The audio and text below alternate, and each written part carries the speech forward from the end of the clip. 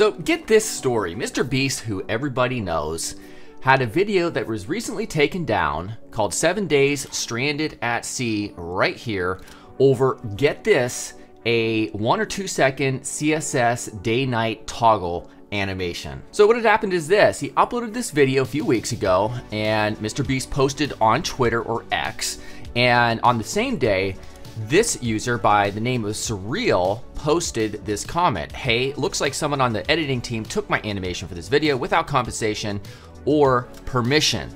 So after that, like a week and a half later or so, when users tried to visit the video, then they were struck with this video is no longer available due to a copyright claim by Tsuriel Design.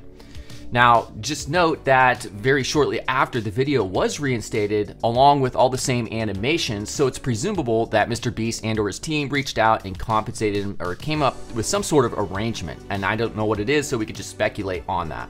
Now you can go to this video, I'm gonna link it here, the original Mr. Beast video that's currently up, and you can go to Mark 238, uh, 538. It happens basically every time, this tiny little micro animation that a day changes. Now you might be wondering, where did Mr. Beast's team find the actual day-night toggle? Well, I can only make assumptions, but if you go to dribbble.com, you type in day-night toggle, you're gonna find this result. And you will see Tsuriel's username right there.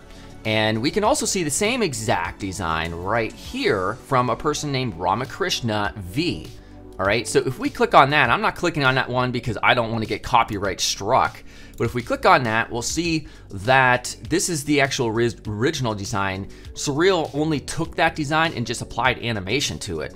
And in the original design from Ramakrishna, he actually links to a CodePen by somebody else who decided to animate it already within HTML and CSS. So the question is this.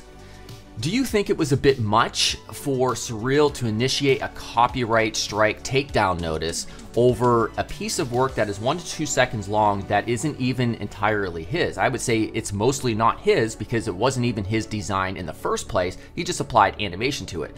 What are your thoughts? Do you think that was justified? Do you think it wasn't justified? For me personally, I think it's a bit much considering it wasn't originally his own work anyways. And also, considering my views on creativity in general, I think we gain inspiration in so many different ways that are at a subconscious level that what we think we, we create that is unique actually isn't unique anyhow. So anyhow, let me know what your thoughts are in the comments below. As always, if you're interested in UI, UX design, front-end development, and more, make sure to subscribe here, check out designcourse.com, and I'll see you later. Goodbye.